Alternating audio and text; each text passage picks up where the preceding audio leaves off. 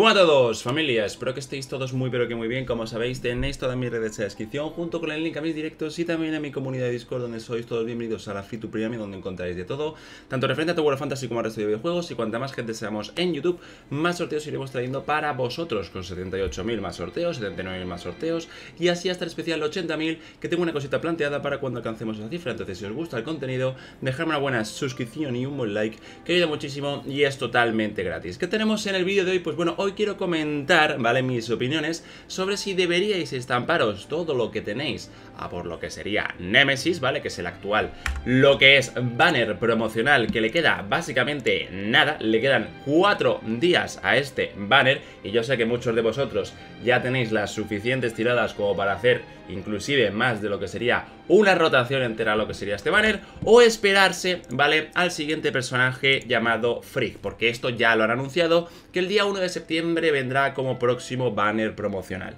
¿Qué es lo que pasa con Frigg? Frigg no vino tan rápido en lo que sería la versión china, ¿vale? Y nos va a salir en esta versión global un poquito nerfeada en algunos lados y un poquito bufada en otros. Entonces, os voy a comparar un poquito lo que sería Nemesis, tanto en el meta que tenemos ahora, junto con el meta que está ahora mismo en China, y también el meta que tiene Frigg, tanto lo que yo espero que va a pasar cuando salga el personaje, como lo que está pasando ahora mismo con este mismo personaje en lo que sería la versión asiática, ¿vale? Si no lo sabíais, si le dais a lo que sería armas y le dais a depósito, abajo de todo os aparece ya lo que sería el arma de Frigg, y aquí podéis ver un poquito tanto lo que es el destruir que tiene, que es básicamente lo de quitar los escudos, y la carga, que es básicamente la velocidad de recarga de sus habilidades, es básicamente el spameo que tiene, ¿vale? Y también un poquito el DPS genérico, porque cuanto más spameas, pues más daño haces, ¿vale? Básicamente. Aquí podemos ver un poquito todo lo que tiene el personaje si le damos a la lupita, tanto los ataques normales, como los ataques de esquive, como la habilidad, como también lo que sería la ultimate, ¿vale? El ostión padre para que nos hagamos una idea, ¿vale? Y también podemos ver, pues, las cosillas que tiene en cuanto a lo que sería, pues, las pasivas, que tiene resonancia helada, y también lo que tendría, pues, los dupes, ¿vale? Primer dupe, segundo dupe, tercero, cuarto, quinto, y sexto, es decir, las estrellitas que tiene el propio personaje. Entonces, primero voy a empezar con Frigg y luego con Nemesis. Y ya después vosotros opináis, ¿vale? Decidís si tirar por una por otra o esperaros porque luego veremos también que se vienen personajes nuevos y que a lo mejor esos os interesan más, ¿vale? Vamos a empezar con, lo que sería Frigg. Frigg tiene exactamente igual lo que sería la resonancia elemental que Nemesis. Lo que pasa que Nemesis es la resonancia electro, ¿vale? Entonces, todos los personajes electro que estén junto a ella, pues van a pegar más. En este caso es resonancia helada. Aumenta el ataque de hielo un 15% y la resistencia al hielo un 25%, ¿vale? Entonces esto viene muy bien, por si por ejemplo queremos combinarla, y ya os digo yo que una de las combinaciones meta va a ser Frigg junto a lo que sería su base, y luego ya un healer o un tanque o lo que os queráis montar, ¿vale? Pero el daño va a ser bastante bruto en cuanto a lo que sería daño de hielo, ¿vale? Después tenemos unos cuantos cambios, que tengo que comentarlos, es lo que sería pues, eh, sobre todo, uno muy importante es en el daño este de esquivar. Ya sabéis que los personajes cuando esquivan hacen diferentes ataques y demás, ¿vale? Como que hacen otras habilidades, ¿vale?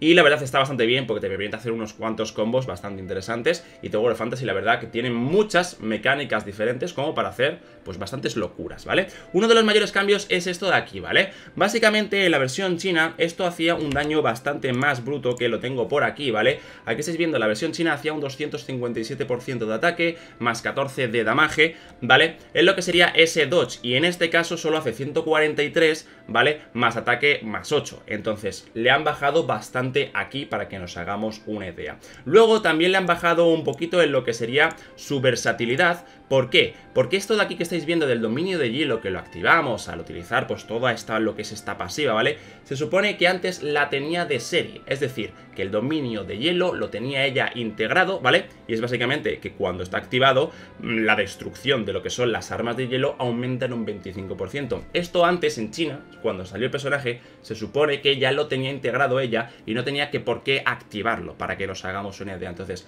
también le han cambiado esto, supongo que para balancear un poquito la cosa, ¿vale? Porque si te sacan un personaje ultra hiper mega roto en todo, nada más salir lo que es esta versión global, pues se carga todo el meta y es el mejor personaje del juego y está súper unbalanced y cosas de esas, ¿vale? También ha ido cambiando unas cuantas cosillas, tanto lo que sería pues este tercer dupe, que ya es para la gente que se quiera, pues, no sé, tirar más a la piscina, ¿vale? Ese tercer dupe si mal no recuerdo, ¿vale? Lo tengo por aquí. ¿vale? Antes era un 25% de ataque, ¿vale? Y ahora es un 20%. Entonces, bueno, le han bajado un 5% por ahí, que tampoco es que sea la gran cosa, pero se, supongo que se notará, ¿vale? Y lo que sería el sexto dupe, ¿vale? Antes, bueno, ahora te está haciendo un ataque extra de lo que sería, pues, hielo, 12%, y en lo que sería la versión china, ¿vale? Pues tenemos que era un 25%. Entonces, todo esto son como retoques, como digo, para balancear el personaje, ¿vale? Igualmente, el personaje cuando salga, obviamente va a ser uno de los mejores del juego. El meta PvE, como he dicho, va a ser Frigg, junto con lo que sería su base y luego ya un tanque o un healer. ¿Merece la pena, por ejemplo, si tú ahora mismo te has especializado en lo que sería el elemento fuego, el elemento electro, cambiar de repente el elemento, pues, hielo? Oye, ahora mismo sí, porque tampoco tenemos tanto tiempo en el juego, pero que ya han pasado 2-3 meses, que tenéis todos vuestros personajes full llenos de estrellas, como por ejemplo me pasa a mí, ¿vale? Que yo los de daño electro pues los intento tener con las mayores estrellas posibles, no me conviene ahora mismo empezar a armarme un equipo con lo que sería Free, ¿vale? Pero ahora, como solo han pasado dos semanas de juego, casi tres, ¿vale? Podéis llegar a hacerlo. Este personaje es meta, es meta en lo que sería la versión asiática? Pues tengo que deciros que no, ¿vale? Las combinaciones más meta actualmente serían las de, pues, Bayukai, que básicamente es un personaje de Electro, junto con lo que sería eh, Nemesis, ¿vale? Y también Mark. O Junto con Claudia, junto con Nemesis. Y lo que sería la versión de daño fuego sería Ruby, junto con, junto con Cobalt y también lo que sería Mark. Entonces, Ahora mismo esto es lo más meta, ¿vale? Son los equipos que si los tienes con 6 estrellas, esto es lo mejorcito de lo mejorcito. Obviamente, si tú consigues a Frigg con 6 estrellas, a Subasa con 6 estrellas y otra cosa con 6 estrellas, vas a pegar unas hostias increíbles. Entonces, ¿pero es meta en China? No. ¿Va a ser meta cuando salga Frigg en el juego en global? Sí, obviamente, porque no hay más opciones, ¿vale? Entonces, Free junto con su base va a ser meta. Y también tengo que deciros una cosa, en lo que sería el PvP, este personaje va a estar bastante bien si lo llevamos en una combinación con Meryl y luego, pues por ejemplo, Nemesis o Coco Ritter o alguna cosa así que nos vaya dando sustain, ¿vale? Pero Meryl, junto con lo que sería Frigg, va a ser meta seguramente, por no decir seguro, en el PvP, ¿vale? Porque Frigg también le va a estar dando más daño a lo que sería Meryl, y Meryl ya de por sí te revienta, pues imagínate con más daño. Entonces, Frigg es un personaje que si queréis tirar ahora mismo por ella, ¿vale? Gastar vuestros deseillos rojos y demás, o guardarlos cuatro días y luego tirar por ella, vale. Pero yo recomendaría una cosa, dejar que los creadores de contenido tiren por ella, lo prueben dos, tres días y luego ya si os decidís tirar por ella. No tiréis el mismo día, no os calentéis, porque a lo mejor luego veis que no es para vosotros, que no os gusta tanto, etcétera, etcétera un montonazo de gameplays en YouTube, por si lo queréis ver, ¿vale? Y luego pasando con Nemesis, ya un poquito la contraparte. Sigue rentando tirar por Nemesis, aunque haya sido el primer personaje promocional que nos hayan puesto.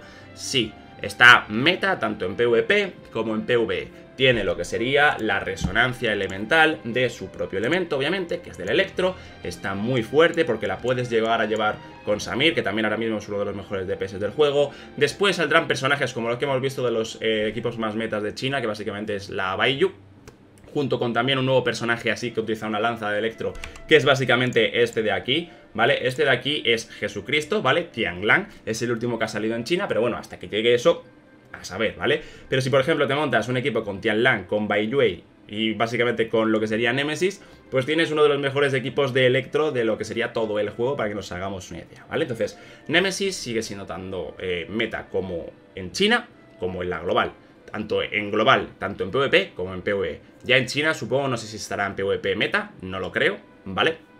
Pero en PvE sí, ahí lo estamos viendo, que son forma parte de lo que serían los mejores equipos actuales de China. Entonces, es más seguro, diría yo, es más seguro tirar a por Nemesis que a por Frigg, ¿vale? También viendo un poquito todo el tema de los cambios que le han hecho y demás, ¿vale? Que como digo es para balancearla en la salida global. Pero si vosotros queréis empezar a especializaros en lo que sería el daño hielo, ¿vale? Para próximos personajes como por ejemplo sería Sakifuwa, pues podéis llegar a hacerlo porque este personaje también es un personajazo increíble que saldrá más adelante. Entonces, ¿queréis ahora mismo ir con su base y junto con Frigg? Podéis llegar a hacerlo porque todavía no tenemos tanto tiempo de juego. Para mí es más una reserva a futuro lo que sería Nemesis, pero ya cada uno tenéis que valorar. También lo que podéis hacer es ignorar a ambos personajes y decir, oye, que yo todas mis tiradas rojas me las voy a empezar aquí a guardar, como un verdadero psicópata, ¿vale? Mis tiradas las voy a dejar aquí, no voy a tocar ningún banner hasta próximos personajes como podrían llegar a ser estos, ¿vale? Como podrían llegar a ser Cobalbi para hacerte el equipo de daño fuego junto con Rubí,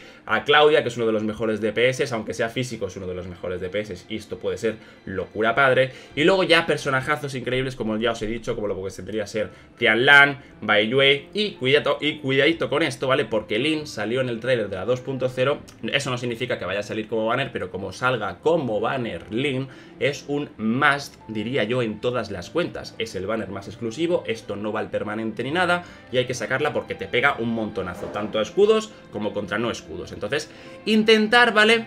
Chequear sobre todo lo que sería pues esta página que os voy a dejar en la descripción, ¿vale? Para que veáis un poquito las habilidades, un poquito las combinaciones que se están llevando en China. Porque toda esta información que estáis viendo viene también del servidor chino, como estáis viendo aquí arriba a izquierda. La C, la C y la N es de China, ¿vale? Entonces son exclusivos de China, podéis ver sus habilidades, lo que hacen, si son meta, si no son meta.